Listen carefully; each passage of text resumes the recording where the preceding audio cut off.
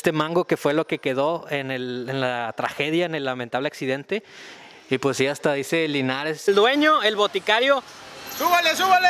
¡Échale, échale! Ahí está, ahí están los cadetes de Linares. ¡Eh, racita, ¿cómo están? Sean todos ustedes bienvenidos a un nuevo video.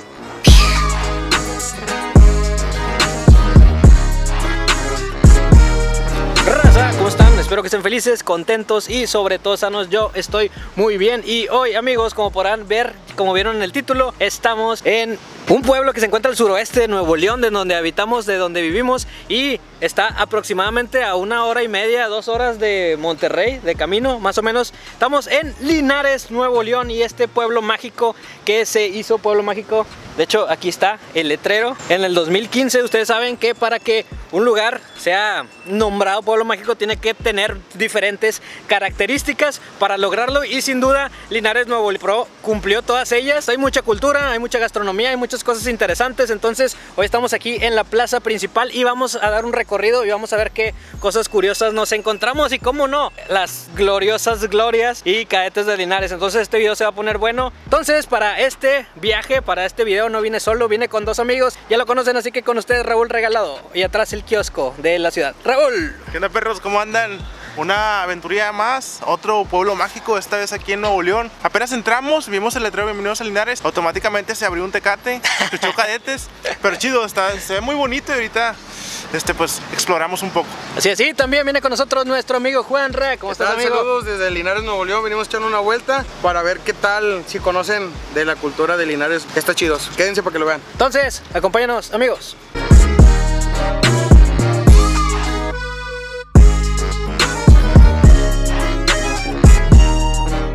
Como ya es costumbre en los centros históricos de los pueblos, de los municipios, está su tradicional kiosco, está muy bonito y como ya vimos ahorita, pues está adornado con las letras, que quede bien claro que es un pueblo mágico y no, no porque desaparezcan gente, sino porque por toda la, la, cultura y este logo de colores que está de este lado. Es imposible hablar de Linares y no hablar de los cadetes de Linares, que fueron una agrupación, un dueto al principio en sus años primeros, que su música trascendió y sigue trascendiendo y se hizo muy popular. ¿Por qué? ¿Por qué crees que se hizo tan famosa la, la música de los cadetes, Juan? Por los corridos, porque los corridos son muy, muy peculiar aquí, bueno, en la música norteña. Y entonces la raza, pues también prende los, los tecatitos y todo ese rollo. Pues. Y aparte, amigos, también uh, la música norteña, también Linares, Nuevo León, se identifica mucho por, por el uso de la tambora y el clarinete. Aquí la música regional es muy típica y por acá se baila mucho, se guapanguea mucho, se echa mucha fiesta. El clarinete es el instrumento que usaba Calamardo, ¿no? Sí. Yo creo, yo, yo creo que le hacía falta tocar algo norteño Sí, para que sonara que bien a Calamardo. pa' que Para que sonara bien a Calamardo.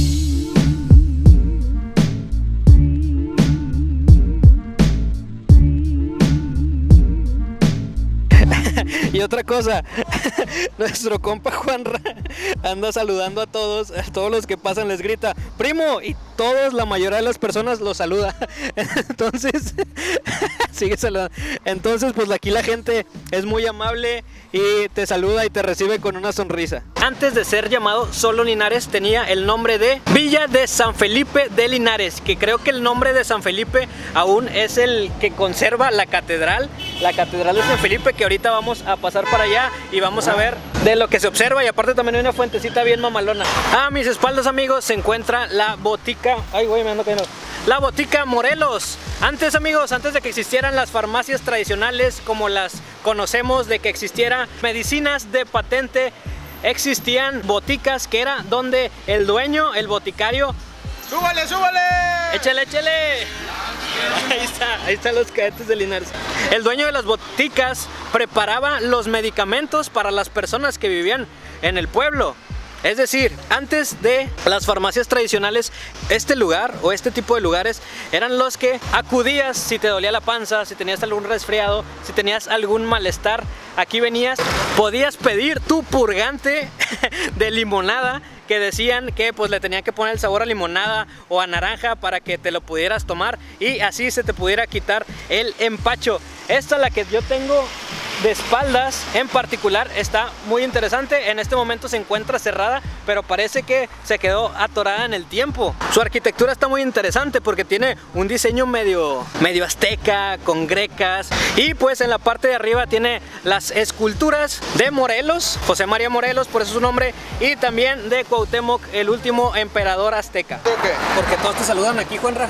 ¿Son mis primos, güey? ¿Son tus primos? Sí, son mis primos. Todos son mis primos. ¿Ya ves?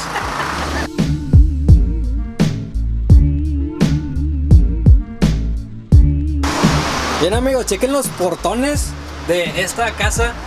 Fierro macizo y igual creo que es un calendario azteca, ¿no? El que está, el que está ah, forjado. ¿Cuándo se van a meter a robar aquí?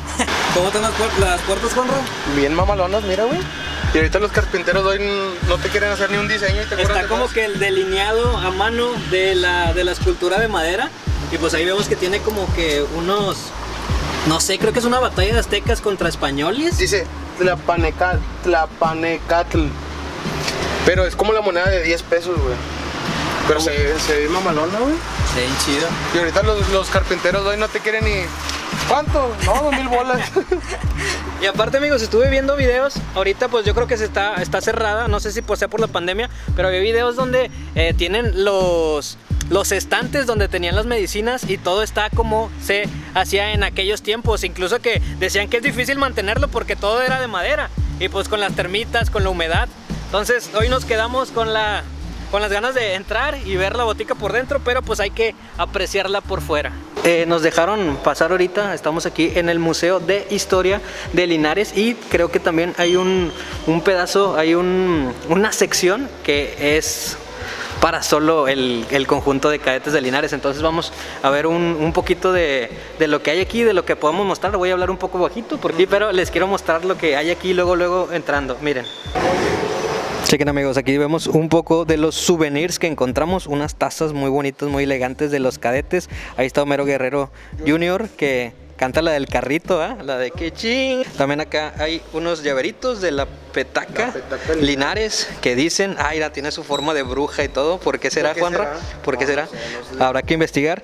Y obviamente también está sus llaveritos de glorias. glorias de Linares. Están muy chidos, eh, la neta.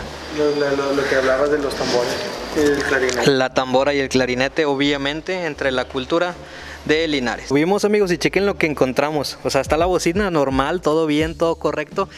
Pero arriba encontramos un tocadiscos. Y no solo eso, sino un tocadiscos con un disco de cadetes. Y es de cadetes, ¿no? Reproduciendo desde el acetato directo hacia la bocina. Ok amigos, de este lado pues ya vimos lo que, que está toda la sección donde está lo de cadetes de Linares.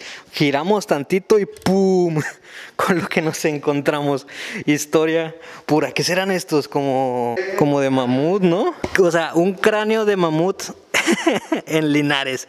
Todo hay fósiles de mamuts y también hay unos huesos de este lado. Y yo me imagino que han de ser huesos que se encontraron eh, en esta región y ya los tienen aquí. La verdad está muy impresionante. No sé si sean réplicas o sean originales. Se me hace mucha, mucha belleza que están así al alcance. Pero la neta, estábamos viendo allá toda la música de cadetes y luego de repente volteamos y, ajá, ¿qué onda va?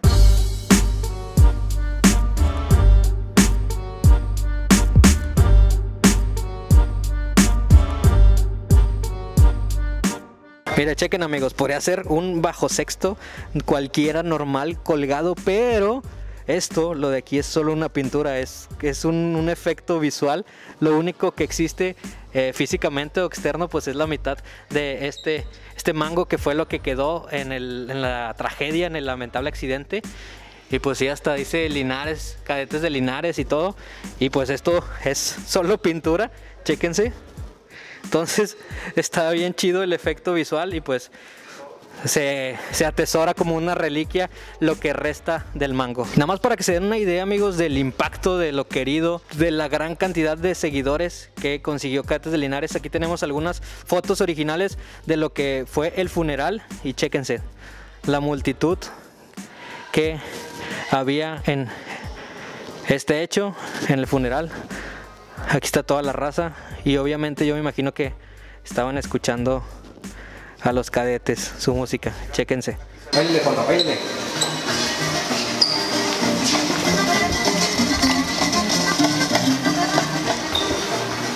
Aquí están las portadas de algunos discos, amigos, que sacaron. Y estas todavía se encuentran en Spotify. O sea, si te metes a buscar cadetes de Linares, todavía vas a encontrar estas portadas que algunas, como podrán ver, pues fueron en vinil, pero muchas otras también en cassette. Eh, a lo mejor sus abuelitas, sus tías, eh, sus vecinas tienen algún cassette de cadetes de Linares con una de estas imágenes. Entonces está bastante, está bastante chido. Aquí está el póster de ellos y acá que era una, Una chamarra. una chamarra. El, el día el señor nos dijo que era una de las chamarras de la última tocada que se pusieron. Pues yo quisiera tenerla, ¿verdad? Pero pues no me queda. Si nos quedará. No, no me queda.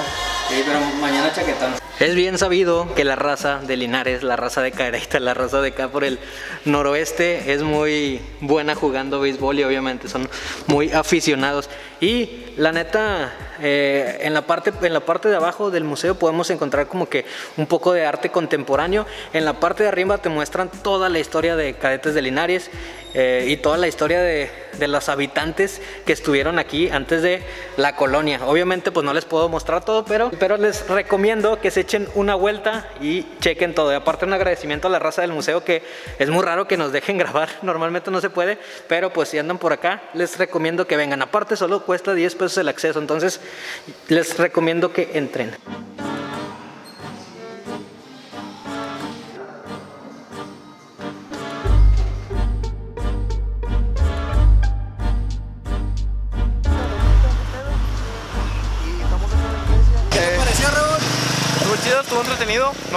Que, los cadetes tuvieran su propia sección en el museo. Y vaya que es una muy buena sección, yo creo que es hasta la mitad del museo, ¿no? Entonces está chido porque pues vas, viendo el, el pasar de los años de- del grupo. Entonces, pues nada, ahí te, te informas y también estuvo chido que, te- que tuvieran la música como que de fondo, ¿no? Como que te ambienta. Y chéquense amigos, aquí tenemos el letrero donde obviamente no puede faltar la foto cuando vienes de turista, vienes a visitar al pueblo mágico y entre cada letra vienen algunas, algunos objetos, algunas imágenes que, que caracterizan obviamente al pueblo. Por aquí vemos la catedral, que es aquella que ahorita vamos a ver. Vemos un bate de béisbol, ya lo que vimos, mucho béisbol el clarinete, la tambora, la gloria de Linares, la naranja, porque aquí eh, cultivas frijol y sale naranja, eh, una guitarra y también el pescado, porque se dice que aquí los primeros habitantes antes de la colonia, las tribus que se ponían aquí eran muy comedores de pescado, aunque creo que aquí está simbolizado más que por, por las tribus, por la pesca. Acá enfrente de la plaza tenemos esta fuente bonita que creo que hay unos delfines ahí tipo estilo griego, bueno, dragones o delfines como antiguamente se, se retrataban. Entonces está bonito. Y de este lado la majestuosa catedral que unos dicen que solo le dicen la catedral de Linares y otros dicen que San Felipe, pero está muy bonita, tiene una arquitectura, igual veo que la puerta está cerrada, tres campanarios, un campanario con tres campanas, una cruz, un pico y un pico más alto allá con una cruz bastante bonita y unos colores cafecito claro. Ahorita un amable señor nos contó que antes la, la catedral de Linares estaba se utilizaba como el obispado. Allá en Monterrey tenemos el obispado que es una iglesia muy importante y se dice que antes de tener el obispado de Monterrey, esta catedral de Linares se utilizaba como ob- obispado. Dije muchas veces obispado.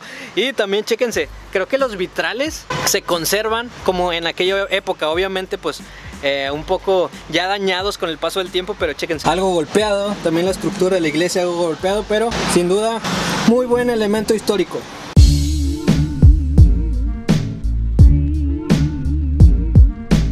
De aquel lado, amigos, de aquel lado de la plaza principal se encuentra el Cine Benítez, que es uno de los más importantes, pero sí estuve viendo varios eh, documentales, varios videos donde decía que el, Cine Benítez fue inaugurado por un alcalde de por este lado y que fue un, toda una sensación en esos tiempos. Y a ver si ahorita nos acercamos. Y pues acá de este lado vemos eh, este, vemos el estilo de arquitectura que podemos ver desde la plaza principal. Vemos que se encuentran edificaciones como si no pasaran los años por esta arquitectura. Y obviamente amigos, como todo centro histórico, los lugares se siguen usando, pero se respeta la fachada tradicional, la fachada co- colonial. Aquí vemos que el agua y drenaje, allá está una zapatería.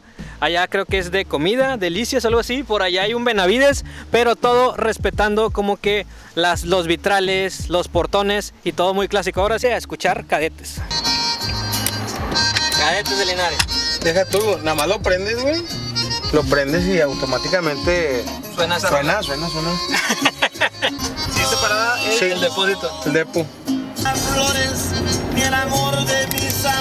Y amigos, hasta aquí el video del día de hoy de nuestro recorrido por Linares. No se pierdan el siguiente video porque vamos a probar y vamos a contar la historia de la suculenta Gloria de Linares, este dulce de leche tradicional y unos tacos bastante ricos que se puso bastante chido. Este video se hizo un poco largo así que decidimos partirlo en dos para tener más contenido en el canal. Y aparte que ando un poco malo de mi patita, ando un poco malo de mi pie y a lo mejor esta semana no voy a poder salir a grabar. Espero que lo entiendan y me manden vibras para me recupere pronto y pueda volver a salir a hacer loqueras por la ciudad. Así que les repito, no se pierdan el próximo video que va a estar bueno, va a estar delicioso, suculento. Y pues nada, gracias por todo. Mi Instagram Alex Villanueva y nos vemos hasta la próxima.